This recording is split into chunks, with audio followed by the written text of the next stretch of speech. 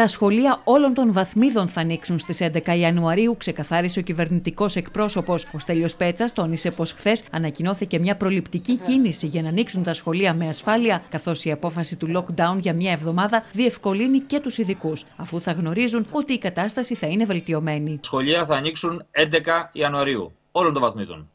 Τι κίνηση ήταν αυτή που έκανε ο Πρωθυπουργός και η κυβέρνηση χθες, ήταν μια κίνηση προληπτική.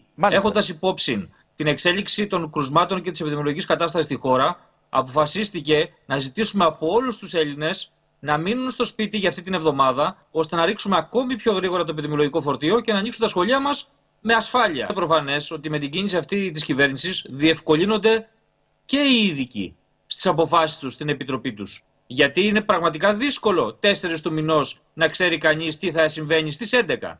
Ξέροντας όμως ότι έχουμε πάρει μέτρα ήδη από σήμερα, τα οποία είναι αρκετά πιο αυστηρά και τα οποία έχουν να κάνουν ακριβώς με την έκκληση που κάνουμε στους πολίτες να τα τηρήσουν, ξέρουν ότι η κατάσταση θα είναι καλή ή και καλύτερη από αυτή που είναι σήμερα στις 11 του μήνα. Μετά από μια μακρά περίοδο τηλεκπαίδευσης με πολλά τεχνικά και επικοινωνιακά προβλήματα, οι εκπαιδευτικοί θεωρούν απαραίτητη την επιστροφή των μαθητών στα θρανία. Εμφανίζονται ωστόσο επιφυλακτικοί σχετικά με τα μέτρα υγειονομικής ασφάλειας, καθώς δεν έχει ξεκαθαρίσει με ποιο τρόπο θα διασφαλιστεί η αποφυγή εξάπλωσης του ιού μέσα στις σχολικές μονάδες.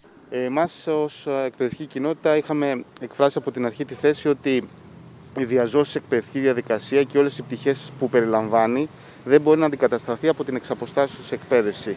Ένα ασφαλές άνοιγμα των σχολείων είναι ε, τεστ με το που επιστρέψουν εκπαιδευτικοί και μαθητές στις σχολικές μονάδες.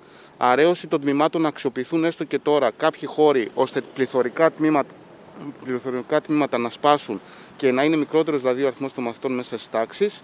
Επίσης, ενίσχυση του προσωπικού της καθαριότητας, που είναι πάρα πολύ σημαντικό ε, και για την περίοδο αυτή.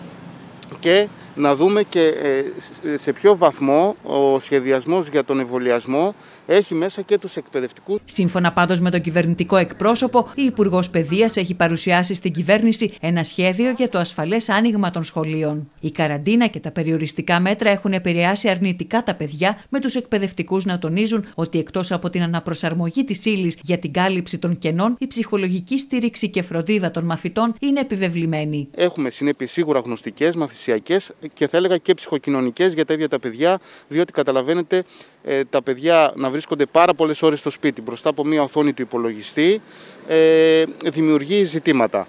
Κατά συνέπεια, σίγουρα ε, έχει, έχει αρνητικό αντίκτυπο όλη αυτή η διαδικασία. Από εκεί και πέρα, σίγουρα πρέπει να γίνει κάτι το οποίο να αφορά και την αναπροσαρμογή της ύλης, ε, διότι υπάρχουν πάρα πολλά κενά και στα παιδιά που παρακολουθούσαν την τηλεκπαίδευση, καταλαβαίνετε και παιδιά τα οποία δεν είχαν καθημερινή πρόσβαση